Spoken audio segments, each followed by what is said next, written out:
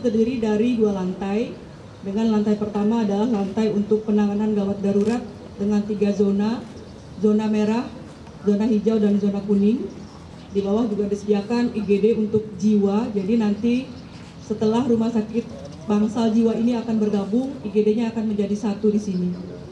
Di lantai dua kita siapkan ruang observasi, ruang radiologi, laboratorium, dan juga kamar operasi. Untuk perawatan sehari kita juga menggunakan gedung ini sehingga pasien-pasien yang hanya memerlukan perawatan sehari kita tidak perlu antar ke ruangan tetapi cukup dirawat sehari di gedung ini.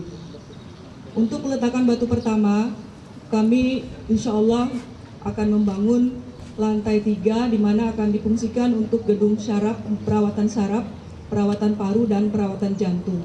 Karena tiga gedung ini adalah gedung yang selalu penuh selama ini dan kondisinya juga sudah tidak terlalu layak untuk digunakan. Gedung IGD terpadu ini dibangun dengan dana DAK sebesar kurang lebih 24 miliar. Kemudian untuk dana lantai 3 yang di sebelah sekitar 29 miliar.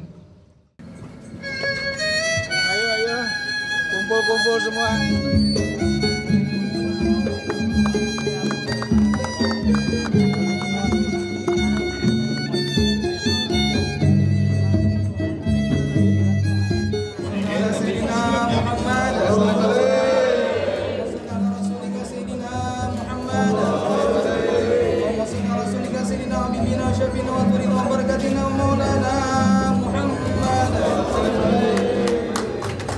맞아 맞아. 아,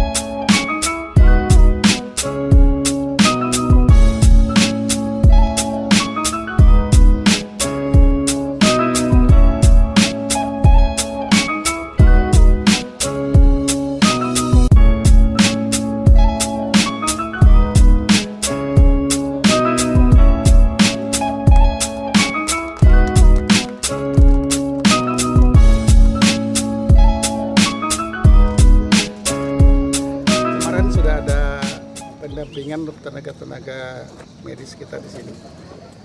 Dan insya Allah sejalan waktu udah akan ditingkatkan ya. Jadi seiring waktu lah kita akan terus memenuhi persyaratan sebagai sebuah rumah sakit pendidikan. Salah satunya kita semakin melengkapi sarana prasarana yang yang diperlukan ya. Hari ini kita terpadu sudah, ini karena kita bangun lagi, insya Allah tahun ini selesai. Ya, kita akan bangun terus lah secara bertahap kita tidak bisa lagi membangun satu hamparan ternyata tanah kita yang luas sudah cukup sekarang harus naik naik ke atas ya.